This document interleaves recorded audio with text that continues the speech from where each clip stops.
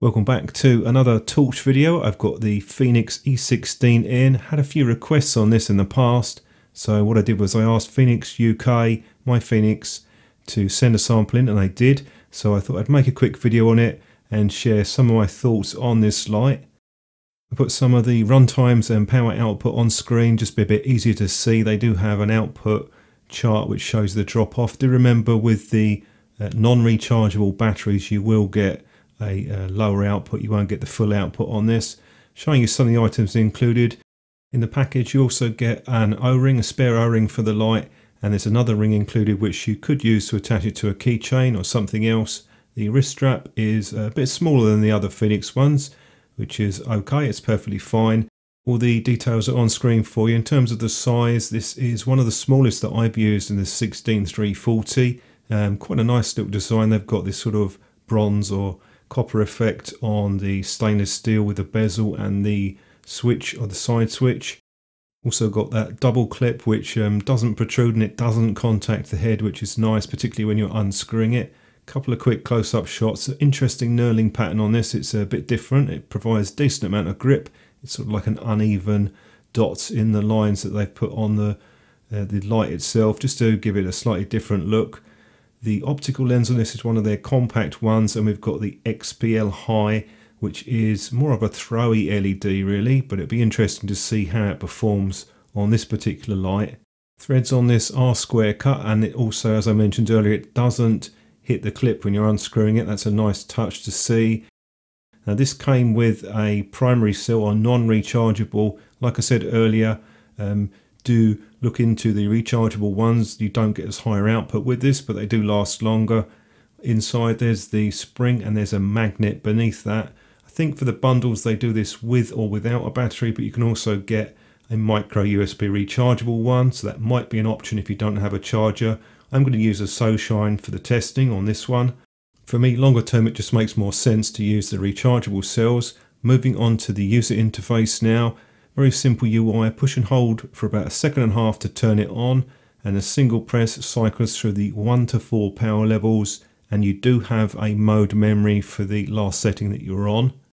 If you want to get to the strobe mode, this can be done on or off. Just push in and hold the side switch and then if you press again quickly, it takes you back to the last level or you can long press to turn it off. Here's your electronic lockout, double press and when you do unlock it it goes back to the medium level not the last set power level. Um, small point but it was mentioned in the manual and that's a mistake so just to let you know on that side of things. Side switch on this is slightly raised but it's pretty flat.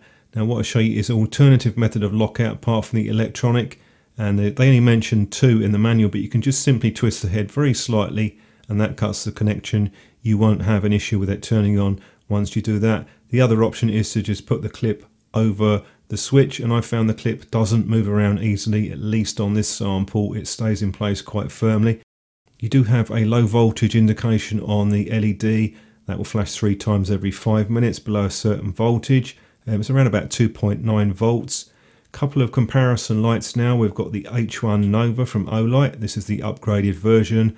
It's a neutral white LED and the On The Road M3. They're all quite different in terms of design, but I thought as I have these lights, I'll just show you the beam shots compare between all of the different lights so you can see the difference. As far as the magnetic base goes, that's pretty strong even on a smooth surface like this. It really doesn't move around easily and that's possibly an upgrade. This light did come out a while ago but um, I was interested in looking at it because it's my sort of type of light that I might like. So that's why I asked for one for review. So they may have upgraded things from the original. I have put the user guide up there on screen for you to have a look at. Onto the beam shots now, we've got the Unicorn one, which is a pretty warm LED in itself. And I go on to the On The Road from the 320 to 620. I made a mistake uh, a while back with the On The Road power settings, but that's from the user guide. It's around about 600. Then we go on to the Olight H1. This is a neutral white LED. Um, you can see it's a pretty floody light. Um, been using this for quite a while now and it's one of the Olights which at the time um, I liked and I still do quite like this light. Then finally we get on to the E16. It's uh, 150 lumens at the medium setting which goes up to 700 lumens at the highest output. You can see it's got a pretty nice hotspot in the middle, very warm tint on this light. So I'll run a few more beam shots now, have a look at those, and then I'll give you a summary of some of my thoughts at the end of the video.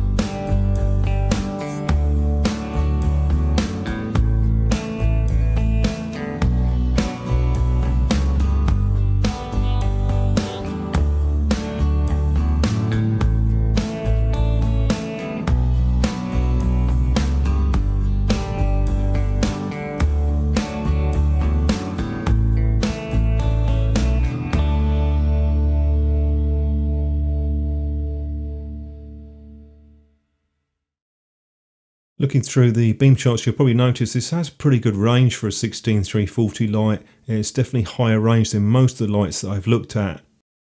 If we look at potential drawbacks, there aren't too many. One of them is that it doesn't have the shortcuts for the turbo or the low modes.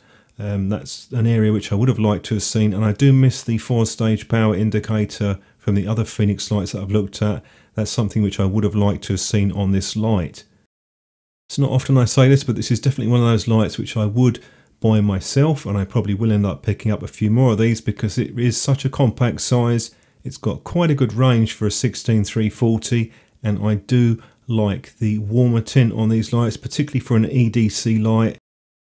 Thanks to everyone who's been watching the videos and continues to support the channel. It is very much appreciated, and I'll catch up with you in my next video coming up in about a week or so.